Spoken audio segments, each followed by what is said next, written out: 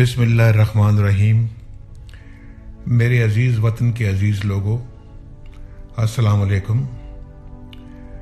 مجھے آپ سے دور رکھنے کے لیے قید میں ڈال دیا گیا ہے۔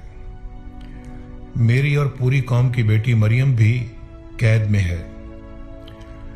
یہ لوگ نہیں جانتے کہ یہ جیل اور یہ قید میرا اور آپ کا رشتہ کبھی ختم نہیں کر سکتی۔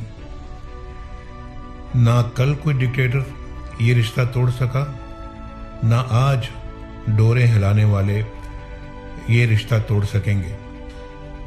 جیل اور قید کی ان گھڑیوں میں میری آپ سے درخواست ہے کہ آپ میری اہلیہ کلثوم کی صحت یابی کے لیے دعا کیجیے جنہیں میں تشویشناک حالت میں اللہ کے سپرد کر کے آیا ہوں۔ دیکھ رہا ہوں کہ پورے ملک کو ایک جیل میں بدل دیا گیا ہے۔ ہمیں اب زنجیریں توڑنا ہوں گی اس قید سے نکلنا ہوگا۔ ستر سال سے جاری کھیل سے نجات حاصل کرنا ہوگی۔ جس نے قائد اعظم کے پاکستان کو تماشا بنا دیا ہے۔ اسی لیے ووٹ کو عزت دو کا جھنڈا اٹھا کر نکلا ہوں۔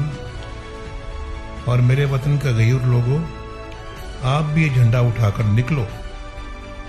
پچیس جولائی کو عظیم الشان فتح کا یادگار دن بنانے کے لیے میدان میں آؤ گھر گھر گلی گلی، کوچے کوچے گاؤں گاؤں میرا یہ پیغام پہنچاؤ۔ اپنے ووٹ کی توہین کرنے والوں کو ایسی شکست دو کہ وہ کبھی سر نہ اٹھا سکے اٹھو اور ایک تحریک بن کے پھیل جاؤ۔ Subscribe to our channel Parky Links News. Also share and like the video.